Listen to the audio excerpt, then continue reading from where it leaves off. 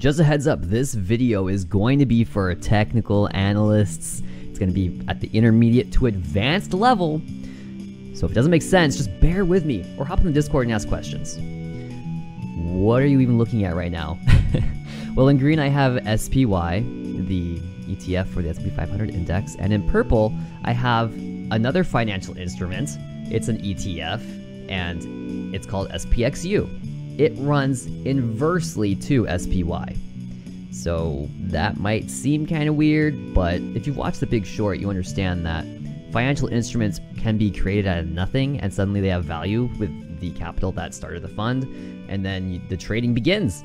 And that's kind of where I'm at. I'm watching one of these financial instruments and its performance relative to the S&P 500. And what I'm seeing is pretty interesting. You're going to notice that I have the S&P uh, 500 high or SPY's high in a green dash line, SPXU's low in a purple line, and a whole bunch of like lines. So let's just start going through this. I want to start at the bottom actually. I have yellow, blue, and white in my typical style yellow, blue, and then white in terms of uh, degree size. And if you're wondering why I use these colors, part of it was they're easy to find on the menu in Thinkorswim, but also these are the Argentine flag colors.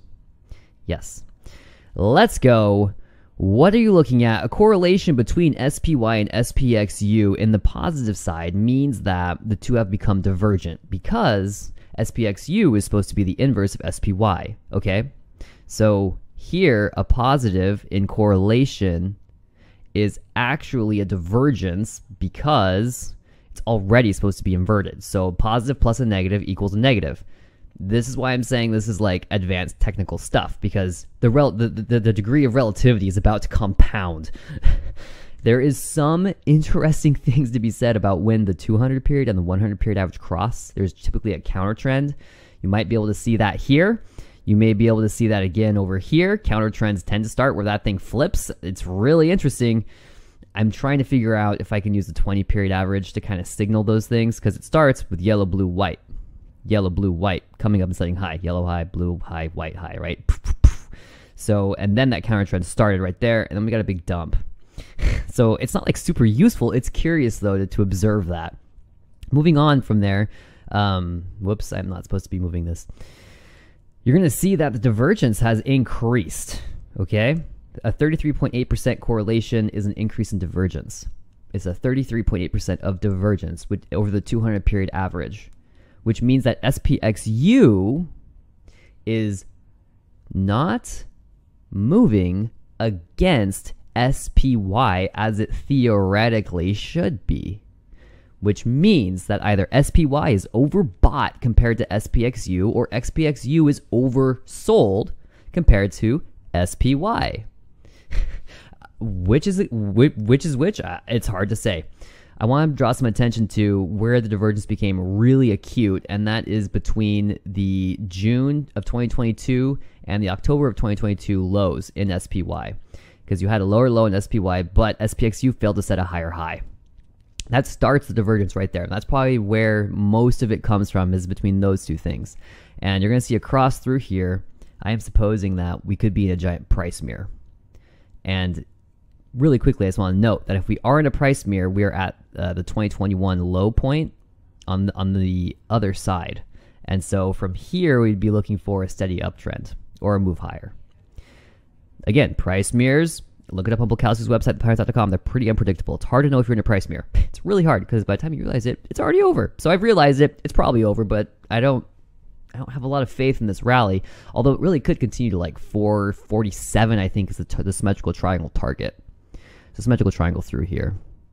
And if you've seen my analysis, go to my past videos, you'll see that I, I had a bullish and bearish target for that symmetrical triangle, and it looks like we have an upward breakout. So the rally could go on for a while. And I'm interested in knowing what's going to happen to SPXU during that time because of this divergence. You're going to notice that SPY is making is moving further and further away from its all-time high. And because SPXU is supposed to be the inverse of that, then the price of SPXU should be moving further and further from its low. But it's not. it's not. In fact, it is below the peak, or uh, below its last valley in around August of 2022, which is the peak of the SPY. And that is nuts because the current price SPY it has not gotten there yet. So this makes me think SPXU is oversold, and it's more likely that SPXU is oversold than SPY is overbought in relationship to each other. SPXU should be much higher than it is if it actually is inverted to SPY. Very curious stuff. I'm going to move on to some technical analysis now about SPXU in that thought because for this divergence to correct itself, SPXU is going to have to make relatively larger moves against SPY's downtrends, or SPY is going to have to make smaller uptrends, no, smaller uptrends against S- SPXU's downtrends. Does that make sense? It doesn't really matter. It's in SPXU's favor, I believe, even if SPY continues to run. I want to just say really quick before we get into the technical analysis here that 1219 level is critical. Everything I say about SPXU will be totally irrelevant if the price falls below 1219. All right, let's go into SPXU. I'm going to load some different styles here and charts and stuff. If you don't use Thinkorswim, I love Thinkorswim. I'm just going to start clicking around here. And maybe I even show how I do this because it's kind of cool, right? Um, What's next? Studies? Did I load the study set? Standard? There we go. Okay, giving myself a little more time frame here too. Let's go to 360 days. This is the price. This is the price mirror right here. I believe what we saw from the low in 2021 is a leading diagonal triangle. I think this is an actionary wave. I think it's motive in nature, and that the price action from that point in time has been a flat correction. And as long as that correction doesn't take out the low, we're in business. And the next move would be the third wave in a motive wave, which is often the biggest wave. It is generally at least as big as, or as high as, as tall as that first wave, which was pretty significant, right? We're talking from a bottom of like 12 up to like 22. So hey, a $10 rally in SPXU would be cool, right? So this might look really complicated, and this is why I said this is going to be like a more technically advanced video because there's just a lot shown here. There's a overlap between the first and fourth wave of this triangle, and that's why I'm calling it a leading diagonal triangle. And no, the price did not go crazy and set a higher high, but price has to enter retracements, and I think a flat here is really appropriate because flats typically are, are followed by large moves. And this has been a particularly strong corrective pattern in that S- SPXU is now oversold to SPY. So you have a flat suggesting a big price move ahead. Meanwhile, the price of the instrument is oversold. This tells me that this thing could explode, and I mean really explode. Completing the zigzag most recently, um, I feel like I had a target somewhere. There we go. And I'm using a smaller time frame to find the end of this particular wave. I took, and this is where fractaling comes in. You're going to see another A, B, C zigzag through here. This time it's shown in white.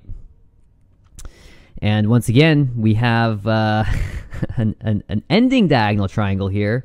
I believe waves 1 and 4 through here overlap as well. And here's wave four. So one, two, three, four. Yes, four overlapping. And I guess this would actually be five down here, right? One, two, three, four, five. Yeah, and five is overthrowing. So this is an ending diagonal triangle in wave position C of a downtrend. And I think on the larger degree, like maybe three or four degrees larger, we're actually going to see the realization of an uptrend because we had a leading diagonal triangle on the other chart. So we had a leading diagonal triangle leading into a big flat. That flat is ending, and the very end of this thing is ending in an ending diagonal triangle. It's like, get ready to rumble. It's going to get wild. Buckle up and get some popcorn because guess what? The stock market crash is still on. So yeah, the target for the zigzag was 1324. The price has just recently bottomed at 1285. It looks like we have a push higher. At least on this time frame at 15 minutes, the RSI is extremely oversold. Extremely oversold. Moving back into the hour time frame, uh, again, you're going to see that oversold condition. Volume starting to pick up with implied volatility. So I think that we really are at the end of a big corrective cycle in SPY and possibly even in SPY. And we're about to start seeing the next actionary waves of the prevailing downtrend, which is down. So this was a complicated video. It's about SPY and SPXU. That's my theory. That's where I'm going. So I'm just going to start going long in SPXU, getting away from the contracts as much as I can because I'm kind of done gambling on the market. Like it's fun, but it's also like really sucks to lose. that last rally just really wiped me out. Well, it didn't wipe me out, but you know, not pleasant, not a pleasant experience. So I'm gonna start buying shares and just holding that. SPXU, here we go.